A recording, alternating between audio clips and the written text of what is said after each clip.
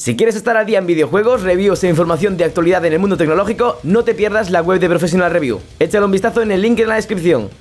Muy buenas gente, soy Trex de nuevo aquí en GT y os traigo un nuevo vídeo de Call of Duty World War 2 Porque poco a poco parece que las cosas están mejorando Poco a poco en base al feedback con la comunidad como ya sabéis, desde hace un poquito más de una semana, Sledgehammer Games ha tomado, digamos, la decisión de empezar a comunicarse más con los fans y antes de hacer cualquier cambio, comunicarnos qué es lo que tienen en mente para que luego, en base a los comentarios que reciban, pues decidan si toman esos cambios o no. Pues tal cual chicos, es la primera vez que nos escuchan muchísimo y en base a lo que hemos dicho y lo que hemos comentado en aquel post de Reddit que comentaba los cambios de armas Pues ha habido hoy con un pequeño hotfix esos cambios de armas, pero ya digo, en base a todo lo que ha pasado, tanto lo que pensaban hacer como lo que les hemos dicho que estaba bien y que no estaba tan bien.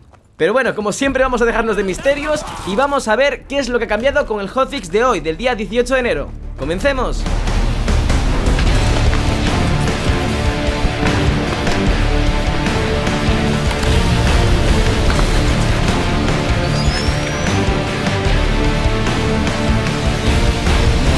¡Aleluya! Por fin se ha hecho la luz y tenemos hoy mismo, 18 de enero, ese primer hotfix, ese primer parche, entre comillas, aunque no hace falta descargar ningún parche por separado, simplemente os metéis al juego y ya os los descarga.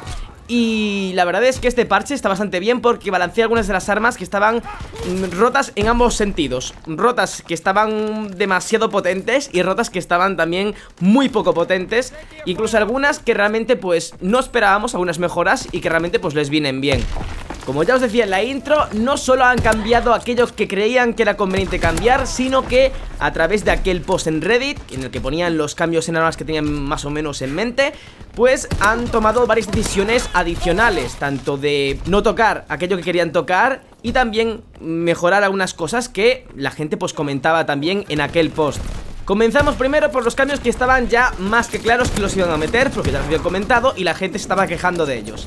En primer lugar tenemos la CAR 98K Un rifle de francotirador que realmente es muy muy bueno ¿Por qué? Porque tiene una buena zona de matar de un solo disparo Tiene bastante buena cadencia y digamos que el punto más OP, el punto más setado Es que tiene un tiempo de apuntado menor al de los rifles de francotirador iguales a él, de cerrojo Antes el tiempo de apuntado era de 350 milisegundos y ahora la han puesto al mismo nivel del tiempo de apuntado que sus compañeros, en 400 milisegundos.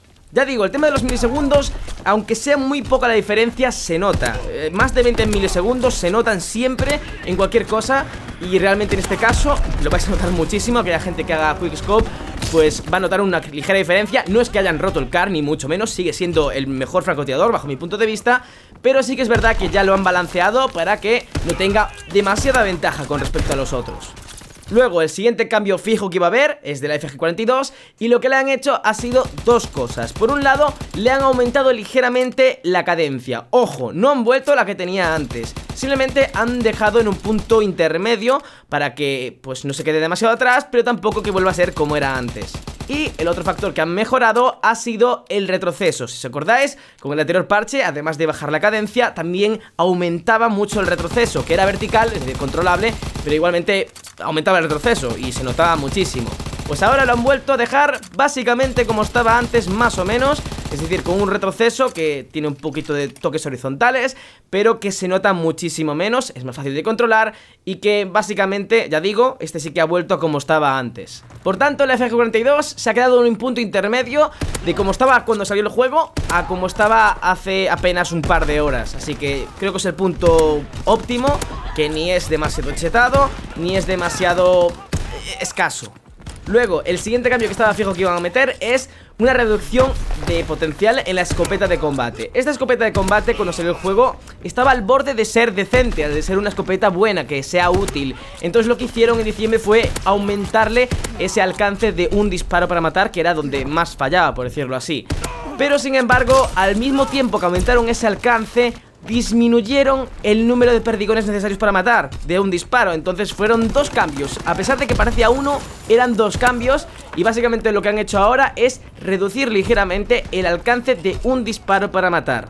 Así que positivo, se mantienen esos perdigones mínimos que hacen falta para poder matar a un enemigo en ese primer alcance y donde han recortado es ese alcance del que matamos de un disparo Así que no va a fallar tanto a cortas distancias Pero tampoco se va a exceder en cuanto alcance Para matar, ya digo, de un solo disparo. Este cambio es tan complejo que os recomiendo que lo probéis vosotros en partidas. Seguramente antes pues veíais bastante gente con esta escopeta de combate. Era la única escopeta que se veía de hecho. Y ahora seguramente veáis bastante menos gente. Pero bueno, yo creo que tal y como está ahora Está en su punto óptimo. Y finalmente el último cambio que estaba fijo que iban a hacer Que surgió también después de un post que hizo también Markel Condry En el que hablaba específicamente de las escopetas Es la escopeta recortada Este arma yo creo que ha sido la peor arma de la saga en mucho tiempo. O sea, yo no recuerdo un arma que fallase tanto a una distancia tan corta. O sea, es como si en lugar de disparar cartuchos con munición de verdad parecía que, fueran de plastilina o algo por el estilo Porque no entiendo cómo daba hitmarkers desde tan cerca E incluso usando los cartuchos incendiarios te daba esos hitmarkers y necesitabas los dos disparos y todo O sea, era catastrófica este arma y estaba clarísimo que necesitaba una ligera mejora. Pues bien, han hecho esa mejora y la han hecho en todos los ámbitos que realmente cabría esperar.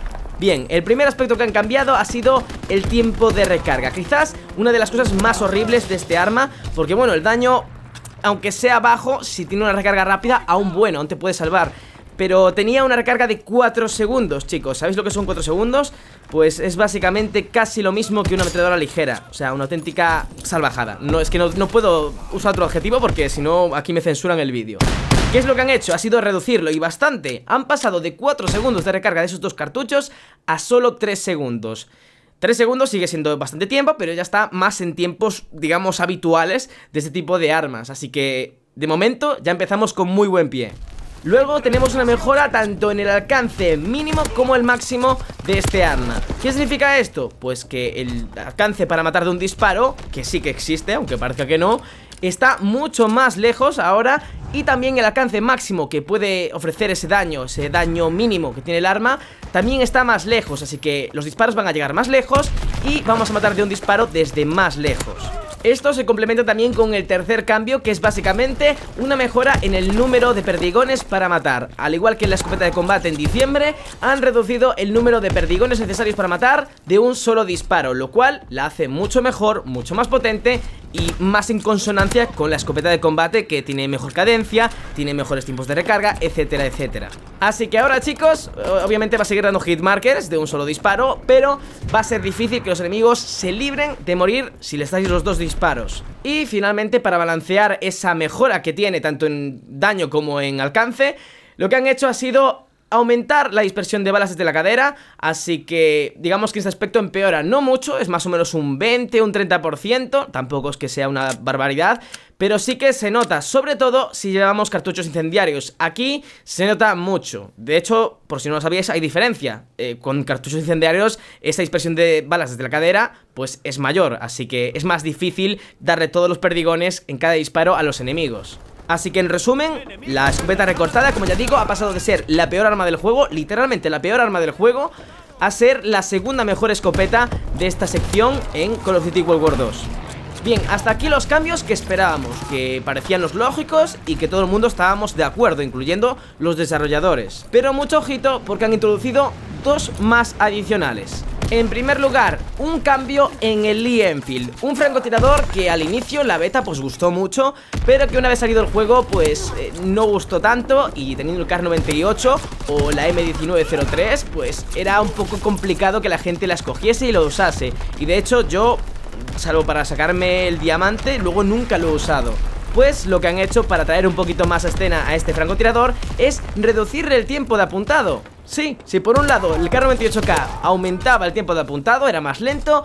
En el Lee han hecho lo contrario Han reducido el tiempo de apuntado Aunque no tanto como para parecerse al carro 98K hace un par de horas. Han pasado de 400 milisegundos de apuntado Que es el estándar en este tipo de francotiradores a unos 380 o 375 milisegundos. No estoy seguro porque sabéis que todo se calcula en base a los frames por segundo, que son 60, y no dan números exactos, pero más o menos yo diría que unos 380 milisegundos o unos 375, así que han reducido entre 20 y 25 milisegundos ese tiempo de apuntado, que sí que es verdad que es muy poquito, es casi inapreciable, pero sí que la gente que lo usa pues lo va a notar y el segundo cambio inesperado es en el M3, en el Grisgun Si os acordáis, hace apenas cuatro días que he subido la guía de armas. Pues bien, para tocar las narices han cambiado en dos aspectos muy importantes este arma. Y es que como dije la guía de armas prácticamente no se ve y es un arma bastante infravalorada. Es muy potente, mata de tres disparos desde una distancia bastante considerable y en general está muy bien ¿Qué fallaba? ¿Y por qué la gente no lo usa? Pues básicamente por el retroceso, que es muy impredecible Y quizás el tiempo de apuntado, que es más lento que el resto de sus fusiles Pues los cambios que han hecho han sido justo esos dos por un lado, han bajado el tiempo de apuntado de 250 milisegundos a unos 230, 233 milisegundos y por otro lado han cambiado el patrón de retroceso. No es que haya mejorado ni que haya empeorado, simplemente han cambiado el patrón de retroceso para que sea más controlable. ¿Esto qué es? Que antes tenía un retroceso medio, bastante aleatorio y bastante molesto, tanto izquierda, derecha como arriba, abajo, y ahora lo que han hecho ha sido que tenga un retroceso más vertical, que casi no se vaya hacia los lados y sí que ha aumentado en cuanto a que tira más para arriba, como podéis comprobar la, comparación, pero yo creo que es mucho más controlable y además siendo su fusil, ya sabéis que tiene una dispersión de balas de la cadera muy, muy reducida, muy concentrada, así que disparando desde la cadera es muy buena igualmente. Así que en general yo creo que han mejorado bastante la M3 y puede competir incluso con sus fusiles eh, bastante fácilmente. Así que como veis todos los cambios están en esa buena dirección que es un balance de armas óptimo. Todavía queda mucho camino por recorrer, todavía quedan muchos fallos importantes Tanto de conectividad como de detección de daño, como de cuarteles despoblados y demás pero digamos que lo importante que es cuando estamos jugando eh, Lo que se ve siempre es el balance de armas y lo están mejorando poco a poco Y lo mejor de todo es eso, que los cambios no son en base a lo que ellos creen O en base a sus gráficos y sus datos y demás Sino que comparten con la comunidad esos conocimientos Comparten con la comunidad qué es lo que quieren hacer Y con esa comunidad deciden si hacer esos cambios o no hacerlos y es que es eso precisamente lo que se les pedía más, comunicación con los fans y que te tomen un poquito más en serio.